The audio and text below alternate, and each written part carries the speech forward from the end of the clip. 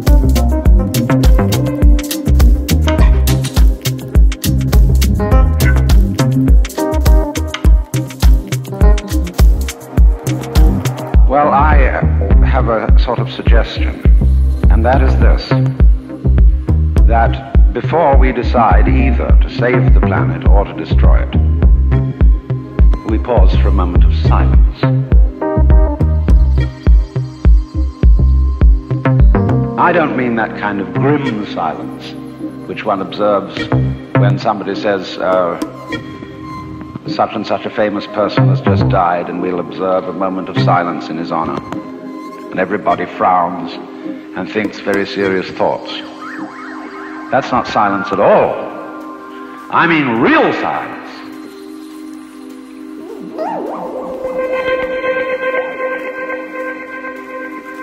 In which we stop thinking.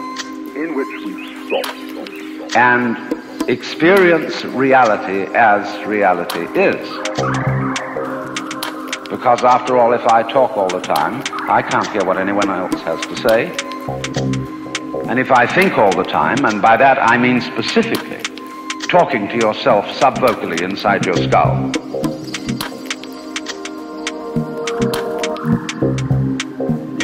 if I think all the time, I have nothing to think about except thoughts. And so I'm never in touch with the real world. Now, what is the real world?